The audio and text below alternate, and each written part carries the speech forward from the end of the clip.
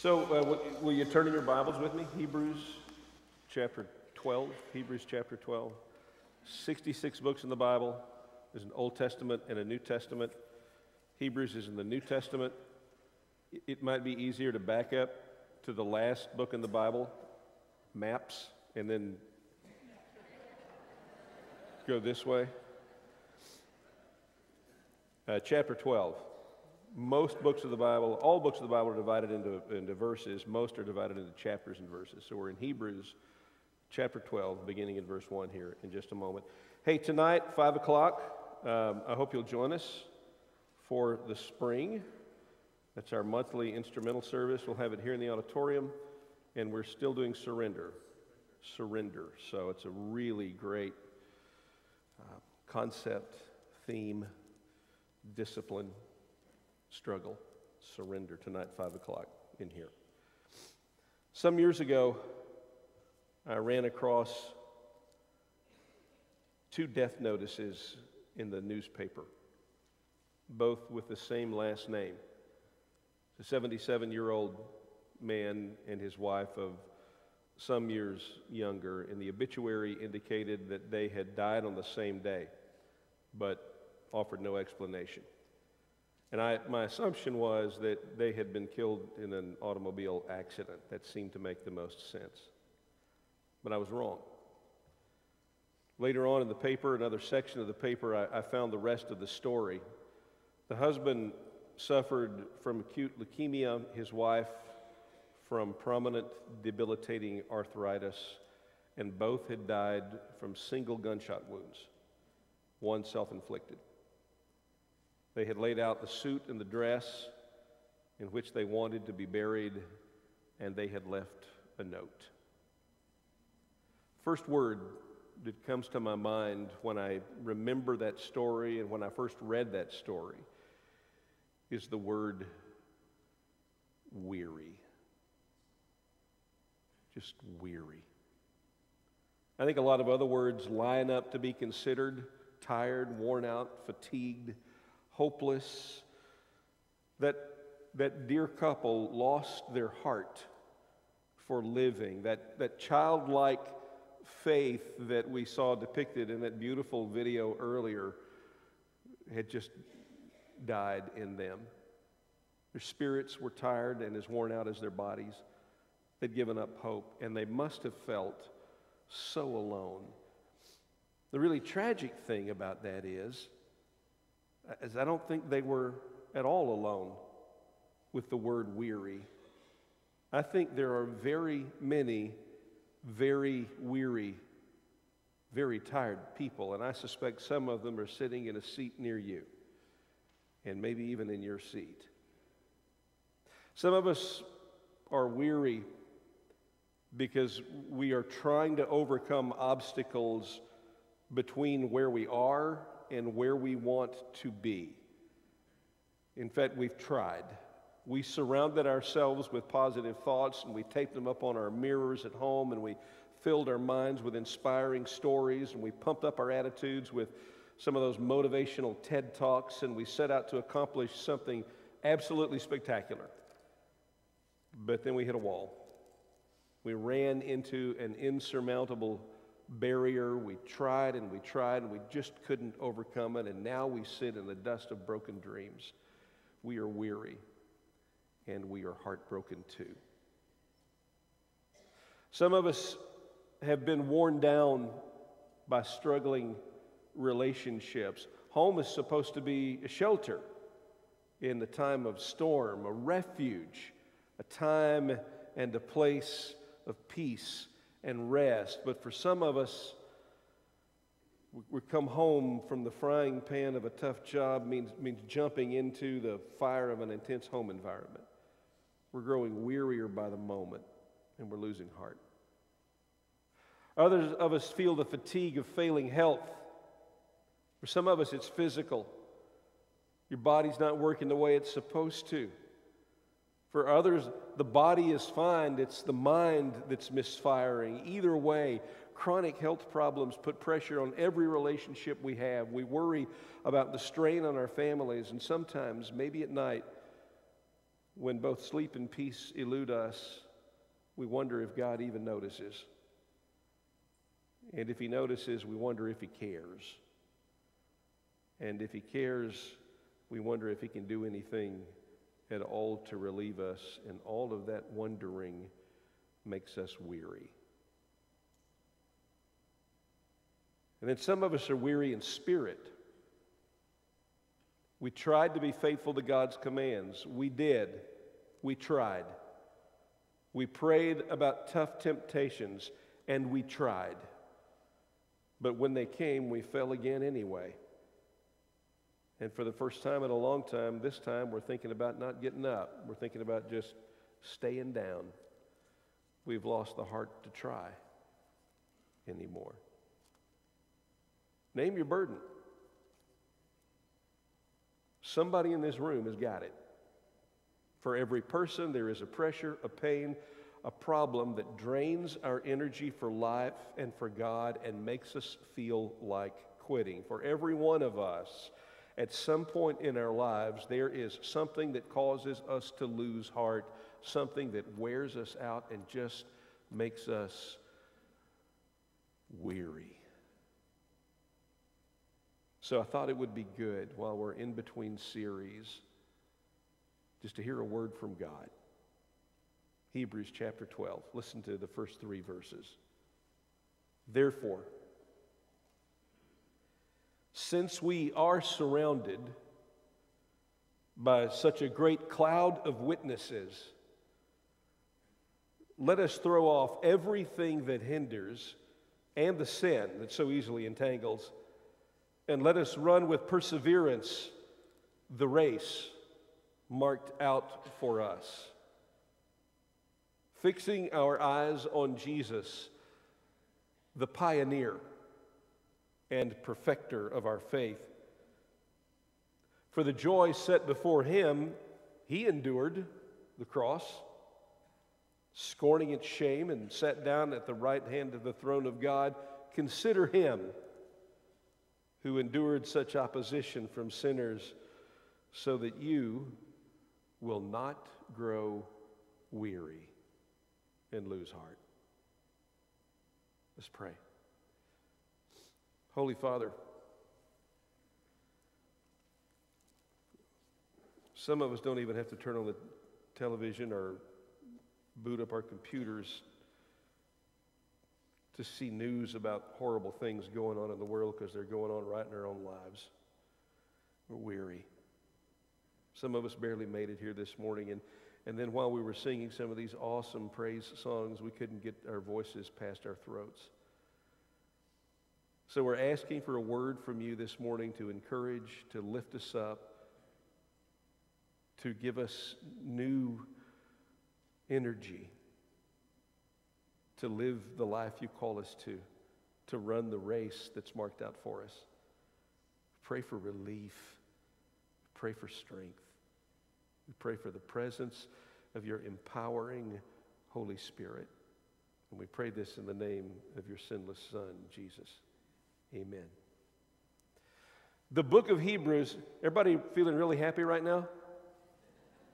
Okay, it's kind of a glum, gloomy start, isn't it? It's going to be okay. We're going to be all right. The book of Hebrews was written to people who were living in the dog days of their faith. They were apparently, judging by what you read throughout the book, they were apparently being tempted to turn back to an old way of life, to give up, to cave into the pressures that they faced. And so, before the writer of Hebrews, and nobody really knows who that was, a lot of people think it was Paul. Could have been Paul, could have been somebody else. So, I'm just going to refer to him or her as the writer this morning, okay? A lot of, a lot of people think that, that, that the writer wants to talk about this, and so he, he, he is reminding them, first of all, of the advantages that they have been given. I want to, I want to show you two resources you have if you're a Christian. And, and uh, these are in the text here, and, and they're intended, I think, to call us out of our weariness into greater energy for life and for God. The first advantage is this the writer says that we are surrounded by a great cloud of witnesses. He's referring to the, to the people he mentioned in chapter 11. a long list of some of the greatest heroes in the Bible Abel, Enoch, uh, Noah, Abraham, Isaac, Jacob, Joseph, Moses, uh, just a whole bunch more. These people, he says, offer testimony to us when we are weary and losing heart. He says these folks are like witnesses. They have personal knowledge and experience that has a direct bearing on what you and I are going through.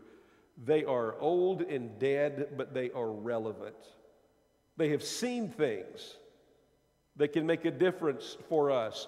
They have been where we are and can teach things and te- teach us and testify to us and encourage us to, to hang in there. One advantage that we have as Christians is the evidence of those who've gone before us. Let me show you what I mean. One chapter back, he mentions Noah. You remember Noah, right? The, built, the, built the boat. Um, Steve Carell played him on TV. The flood. You think Noah might have something to say to people who sort of feel like they're watching the world sink into a swamp, swamp of moral confusion? Noah, Noah could talk about that. He's been there. A moment ago, we, we heard the scripture reading uh, from Hebrews chapter 11. And you heard about Moses' parents. Their names were Amram and Jochebed. Why don't we say that together? Amram and Jochebed. You ready? One, two, three. Amram and Jochebed. Let's get this. Moses' parents. If you're on Jeopardy and the Bible category obscure biblical parents comes up, you'll know the answer to that you will win, and we do expect you to tithe out of your winnings.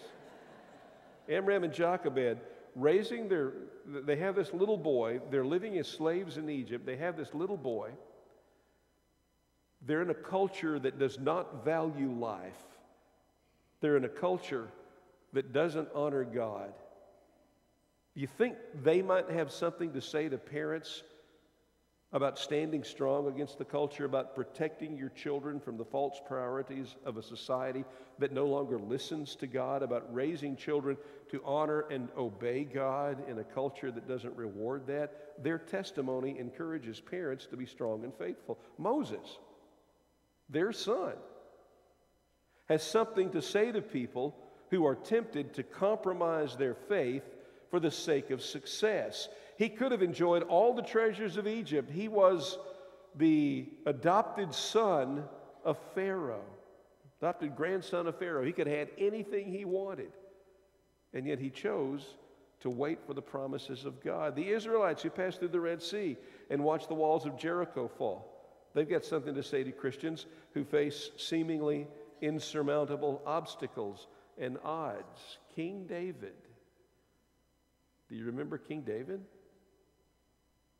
David committed adultery and then had the husband of his lover murdered.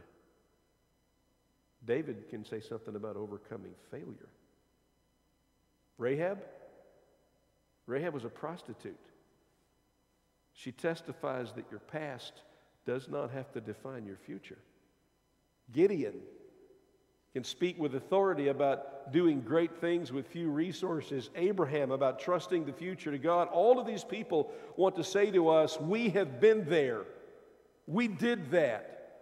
We are here to tell you that this faith thing works. It will not always be easy, it won't come quickly. Sometimes it'll feel like it's never going to get there, but it works. We, we watched it happen. Don't quit. Don't give up. Don't lose heart. Don't let weary win. Don't worry. They testify to us. That's advantage number one. Great cloud of witnesses. People who, by their experience, assure us and inspire us that God will make it okay. Advantage number two. This also in verse 1, near the end. Let us run with perseverance the race marked out for us. We have a great cloud of witnesses, people telling us, you can do it, we've done it, we've been there. And then we've got something that people all over this world wish they had direction. We've got direction. The race is marked out for us. We don't have to guess about it. We don't have to search for it. We don't have to make it up as we go. I think we often look at the Bible and all of its commands as a burden that we have to carry or an authority that we must endure. And, and I, can I just be real honest with you?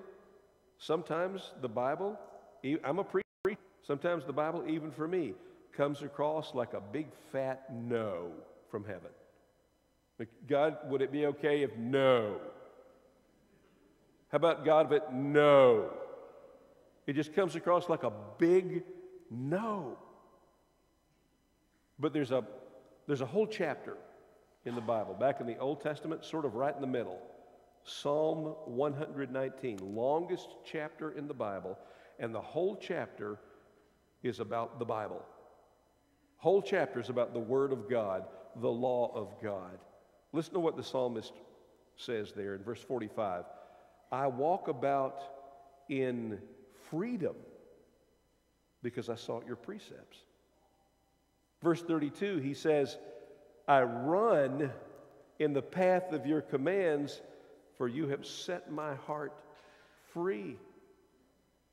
Scripture is, is not a corral hemming us in, it's not a wall keeping us out of a promised land. It's not a bouncer that won't let you go into the party. It's not an iron curtain limiting your liberty. It's the means by which God has marked out for us the path to freedom, to joy, and to peace. We may wrestle with day to day decisions.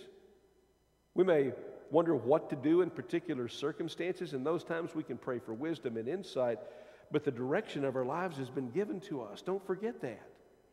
Always celebrate that advantage We've got a direction. But these verses in Hebrews do more than just remind weary people of the advantages that we have. They also call us to some action, which is really what weary people need, isn't it? We need to know what to do. Uh, what are some specific actions I can take to find new energy and new resources for life? What can I do to overcome this weariness? That's in here. There were two guys that were in a hot air balloon.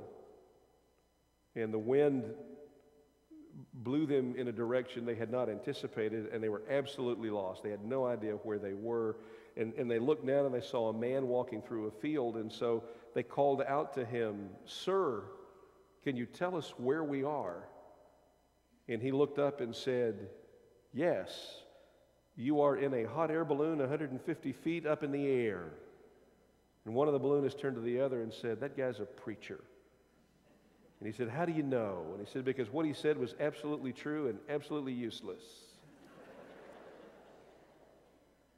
okay, would that have been funnier if it had been an engineer? Would that have been better? Because that's how I first heard it. Because my notes said pause for laughter, but they're. I don't want to be that guy, okay? I, I want to offer some practical, specific help, and there, there are some very practical things we can do when we feel ourselves growing weary. I hope one of the things you've already picked up on is the Bible understands there are going to be days like that, seasons like that in your life. You're not alone and you're not crazy. But there are some things we can do. The first one is in verse 1 let us throw off everything that hinders. We're going to find new energy, new strength, if we're going to put some distance between ourselves and the word weary, we're going to have to learn to travel light. That's what it means when it says, throw off everything that hinders. If you are in a season of sick and tired, there may be some things in your life that you just need to let go for right now. And I'm not talking about bad things. talk about that in a minute. I'm, I'm talking about good things. See, not everything that hinders us is sinful. In fact, there may be some very good things in our lives that, in and of themselves, are absolutely fine, but you can have too many good things. It's like packing to travel. I, I don't even have to put my hand on the Bible. I will tell you this I am a terrible packer.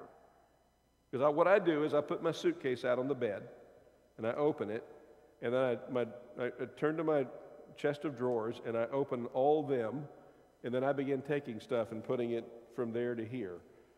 And pretty soon, I'm, my drawers are empty and my suitcase won't close. I actually have paid more for my luggage than my flight. And I don't really need a suitcase, I need two men and a truck because I don't know how to pack. I think we do that with life. I think, we, I think families these days are busier than ever. And it's all good. You're, everything you're doing is good stuff. We, we pack our weekends and our weeks with educational and recreational and spiritual and occupational activities, and they're all marvelous experiences, and we make grand memories, and we end up with zero margin. And then if one thing goes sideways, and something always goes sideways, we're suddenly overwhelmed. Marginless living makes us weary. At times like money, if you don't make a budget, it's going to get away from you. If you say yes to one thing, you're going to say no to something else. Our spirits, our souls need down time to pray, to worship, to stay fresh, to stay alive. So, can I just challenge you with something here? To, this is a horribly frightening thing for a preacher to tell you to do because we're going to start a series in a couple of weeks called Gifted. And it's going to be a call to this church to step up and use our gifts in kingdom work. So, what I'm about to tell you is just it's crazy. I want you to say no to something this week, okay? Not if I call, but it, but I want you to say no to something this week. Okay, you, you, you may need to say no to something really good. But if we don't have any margin in our lives, we die. We grow so weary that we can't say yes to the things that matter most. But now, not all of the things that hinder are benign. They're not all just a matter of overscheduling and saying yes too many times. Sometimes we're not just hindered, we are entangled. The first action is to travel light, the second is to deal with sin. Verse 1 says, Lay aside the sin that so easily entangles. If you are feeling weary, it may be that there is unconfronted, unconfessed, unforgiven sin in your life. Now, I want you to listen very carefully to this next sentence. Are you listening? Listen carefully. I am not saying that the problems, that, that if you have problems in your life, then you must have committed some big sin and God is punishing you. The last thing weary people need is to be saddled with that bit of bad theology. There is a phrase for the idea that God sends us problems to punish us for our sins. That phrase is false doctrine. Your devastating diagnosis is not the result of God's anger at your sin. If that's how God operated, how in the name of all that is holy is Hugh Hefner still alive? So I don't want a lot of weary folks walking out of here this morning thinking that all of your problems are because you've sinned.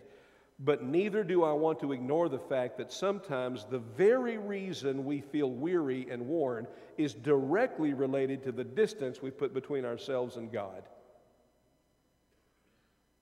David knew something about that. Listen to what he wrote in Psalm 32 When I kept silent, my bones wasted away through my groaning all day long, for day and night your hand was heavy upon me, my strength sapped as in the heat of summer. That sounds to me like somebody who is weary. Why was David weary?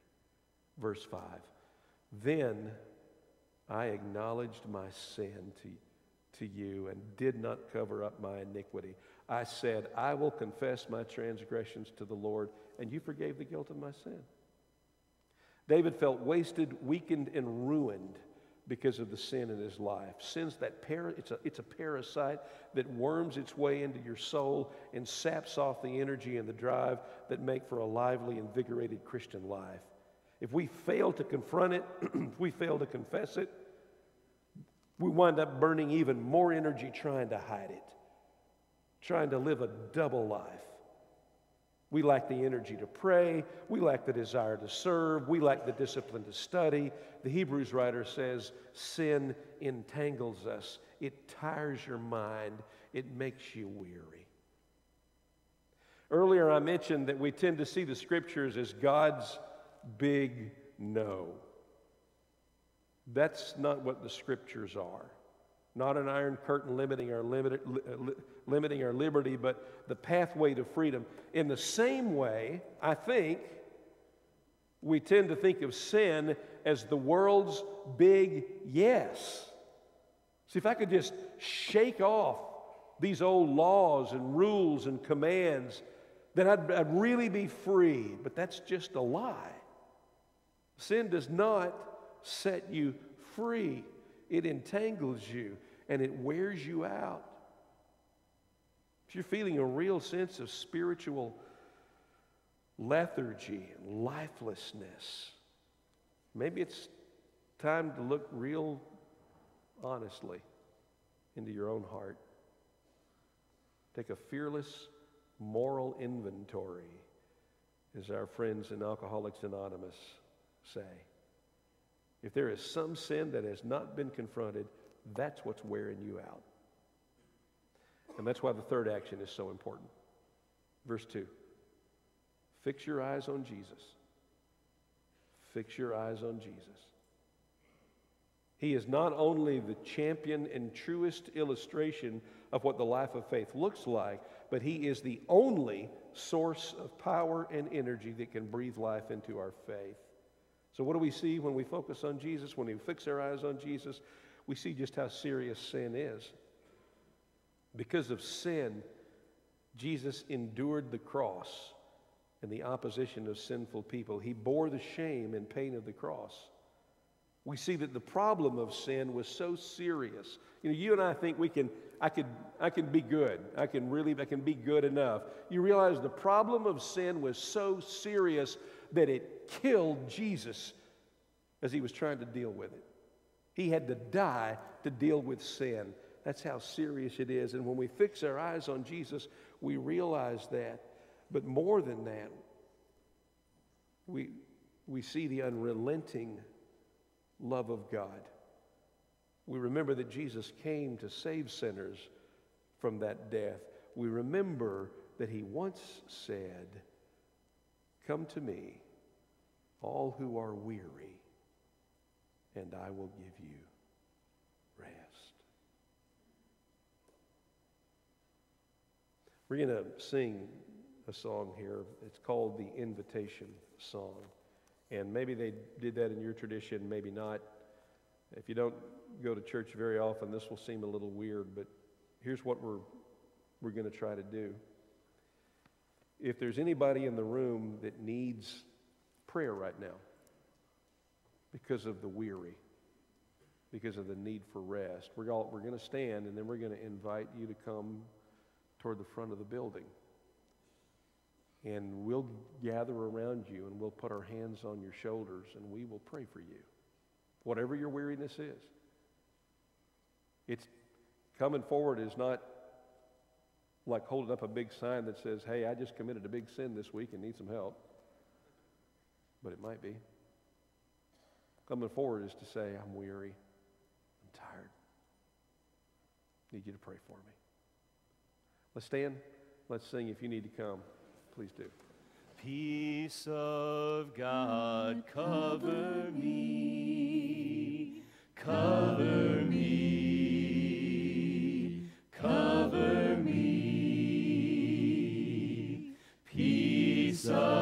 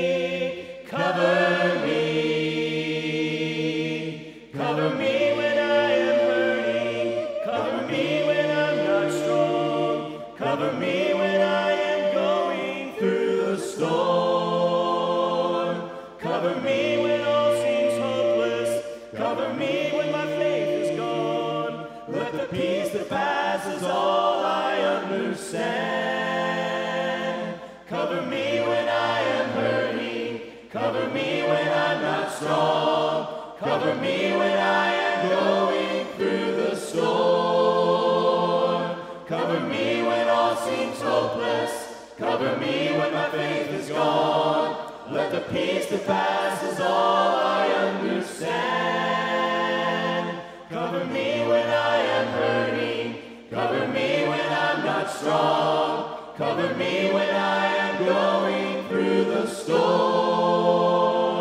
Cover me when all seems hopeless. Cover me when my faith is gone. Let the peace that passes all I understand. Cover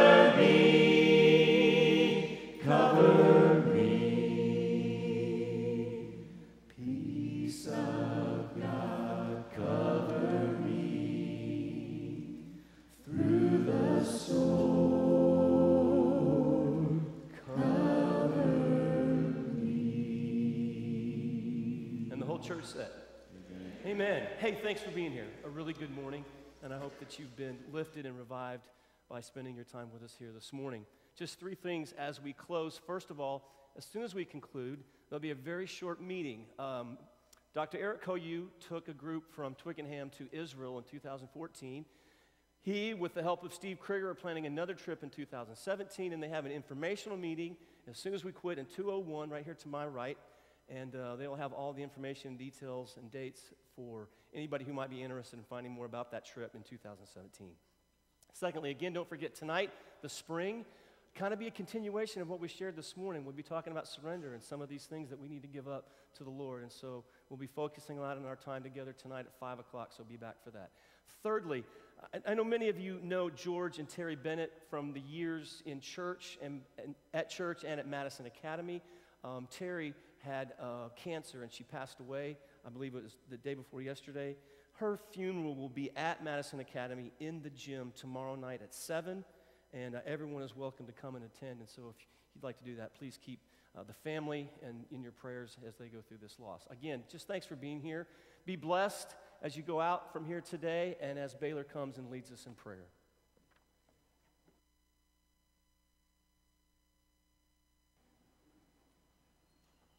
Will you bow with me?